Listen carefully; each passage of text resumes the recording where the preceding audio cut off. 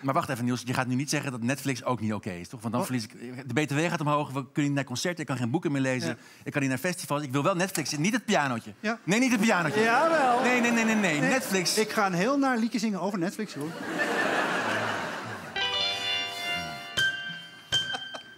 Soms denk je van wow, de draad ben ik.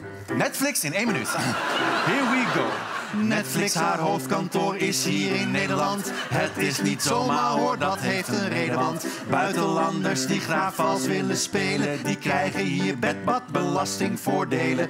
Dit kantoor int het geld van alle abonnees. Zwitser, Noord-Ierland, Jordaniër, Gabonees. 16 miljard winst, maar hier betaalt Netflix. De fiscus tricks, dus slecht dit, dus net niks. Zij zeggen dat je de distributiekosten af moet halen. 14 miljard die ze stiekem aan zichzelf uitbetalen. Nederland zegt niks, want zelfs de staatssecretaris had aandelen Netflix, wat inderdaad dus echt waar is. Vet cru dat er wel zijn met fraude zoveel geld verdiende. Het nu niet meer kan je accounten delen met je vrienden. Je zou ze toch terug willen pakken, maar hoe dan? Nou, luister maar vlug hoe je het makkelijk doen kan. Log in op het account van een vriend als je bij hem thuis bent. Door zijn wifi te gebruiken blijft hij daarna denken dat je altijd in het huis bent. Dus kost het je echt niks en weet als je het herhaalt dat jij net als Netflix geen reet meer betaalt.